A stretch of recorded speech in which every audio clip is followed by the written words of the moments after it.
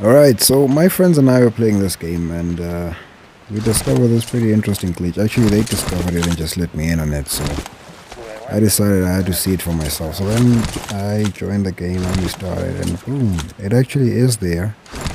It's an invisible pool of water, I think, and you can just levitate and float around on top of a rock.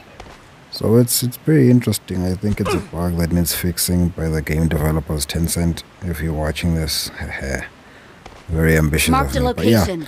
it's a glitch that needs fixing, and it, it's it's fun. It's fun for the whole family. You can just bring your friends here, and I don't know, maybe record videos, take screenshots.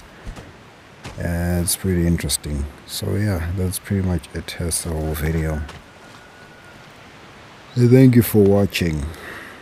That's my friend Stignami over there, by the way. Number three hero, da.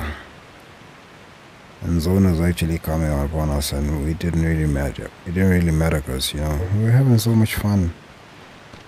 So, yeah. And I decided to just run around and just loot like we all do. I don't know why I do that, but I have a tendency of either shooting doors down or closing them. But yeah, there we go. Got a P90. And I decided then to just go, you know, do some jet ski things and the waterfall itself. So yeah, there I am swimming towards a jet ski. Oh manare, adapare, ameno.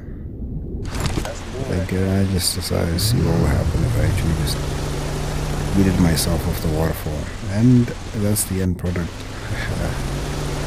Thanks for watching, like and subscribe. I'll, I'll work on an intro, I think. Uh, like all the other YouTubers do. Yep, I'll work on an intro in the days to come.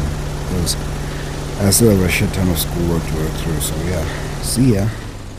Baba booey, baba booey. I'm also on TikTok, by the way.